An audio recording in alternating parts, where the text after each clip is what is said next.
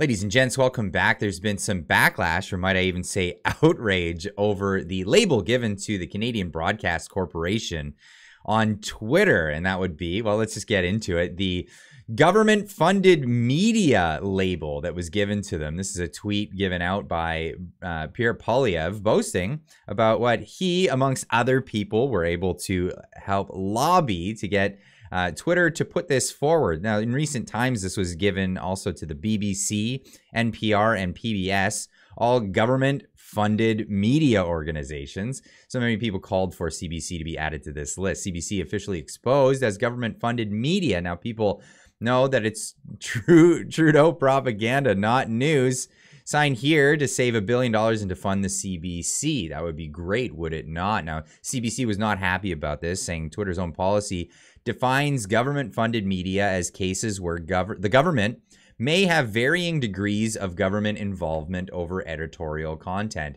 I don't know, maybe uh, to the tune of 1.4 billion dollars uh, might influence your editorial content. We all know that people don't want to bite the hand that feeds them, but they say that this is clearly not the case with CBC and Radio Canada. And of course, we all believe it, of course.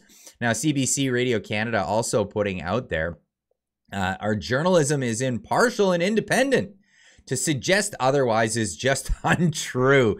That is why we will be pausing our activities on Twitter. And then uh, said the same thing in French. Now, uh, many people wanting to reply to this, uh, they turned off the replies because that's how uh, transparency works with government corporations in Canada. Now, nonetheless, many, many quote tweets. Now, a quote tweet, if you're not familiar with Twitter, is a way of replying uh, where you can tweet out your response with the with the uh, tweet below yours. And of course, I jumped on this one as "Goodbye CBC" was trending saying pausing your activities on Twitter. Uh, show us that you're serious. Delete all your accounts. now, Justin Trudeau uh, jumping in and weighing in on this one, making a uh, turning this one into his usual brand of politics. And well, this is what he had to say.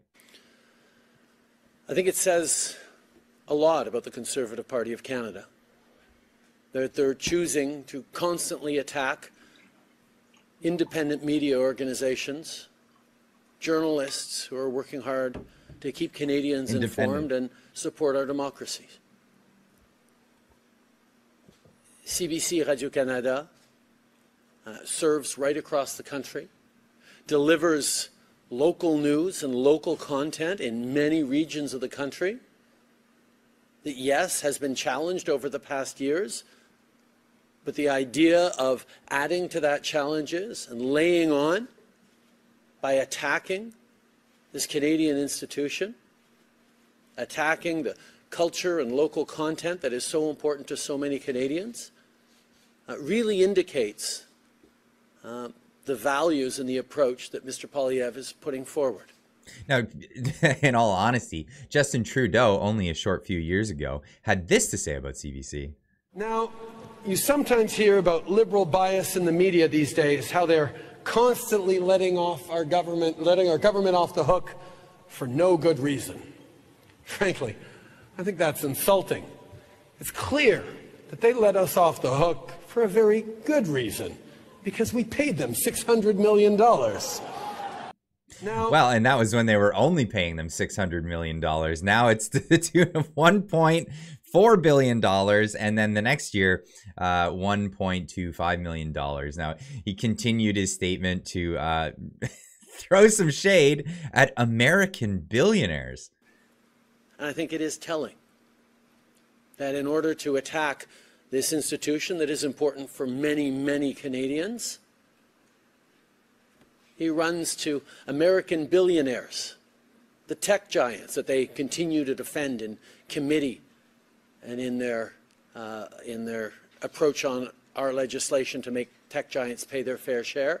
Conservatives are always there to defend them. So when they're trying to attack a foundational Canadian institution, the fact that he has to run to American billionaires for support to attack Canadians says a lot It does say a lot. It says a lot about Justin Trudeau and who he knows who is American or maybe is not American. Even, uh, what was it? Jagmeet Singh jumping in on this one.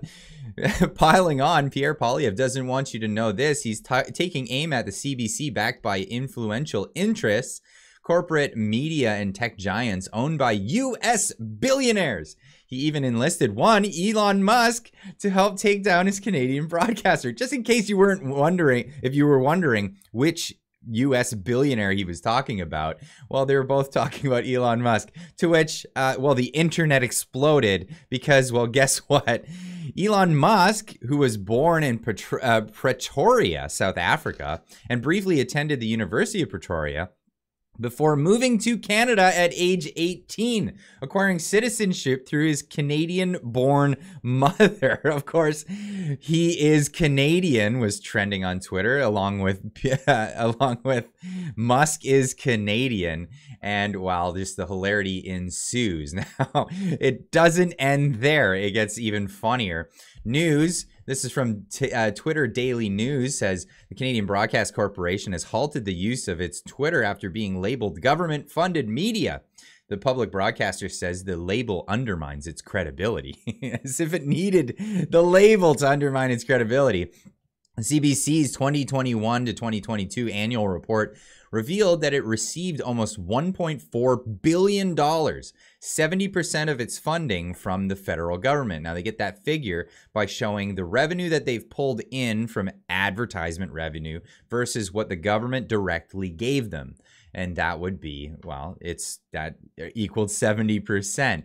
Now, the CBC argues that it funds the other 30% on its own, so it should not have the label. Hi, Michael. We are a government funded, but that only covers a portion of our expenses. Advertising helps us cover the costs at all across all platforms. So uh, Elon Musk saw this and uh, jumped in there and said, "Okay, just to be accurate, would it be okay if we said seventy percent government funded?" Their concern has been addressed and changed it to 70% government funded media. Uh, of course, this didn't end there. Obviously, another Twitter user said 69%. Give them the benefit of the doubt.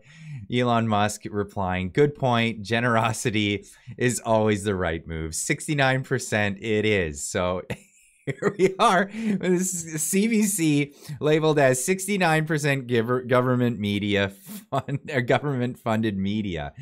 And that's where we are with this. Now, uh, this this is interesting. So according to the outlets 2021-2022 annual report, the CBC received $1.24 billion in government funding, in addition to 651 million in revenue, mostly from advertising. CBC reported 1.39 billion in government funding and 504 million in revenue in 20 to 20, 2020 to 2021 fiscal year.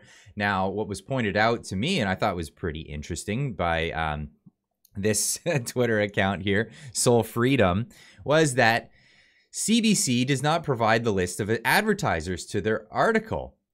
In my opinion, federal government has spent Canadian taxpayer dollars on advertising through the pandemic. Freedom Convoy, uh, Convo, indirect funding.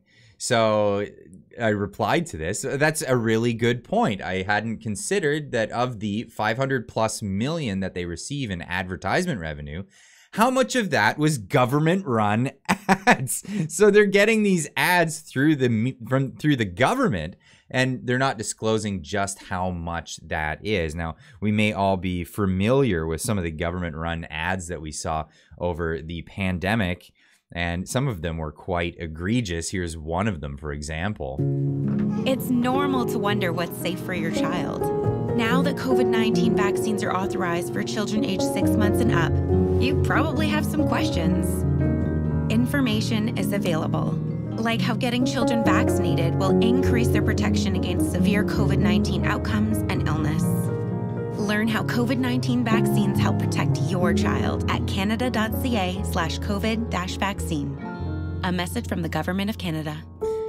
So a lot of these ads were shoved down our throats on CBC uh, broadcasts, but all also on other uh, other avenues.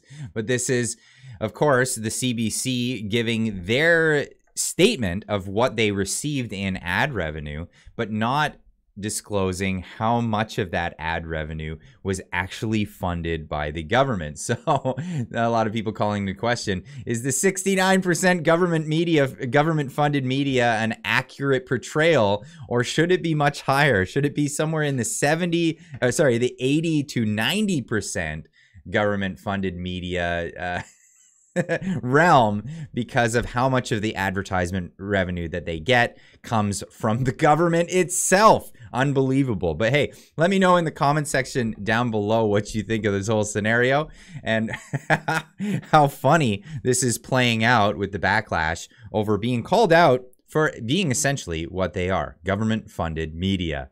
Anyway, we'll see you in the next one. Keep on trucking.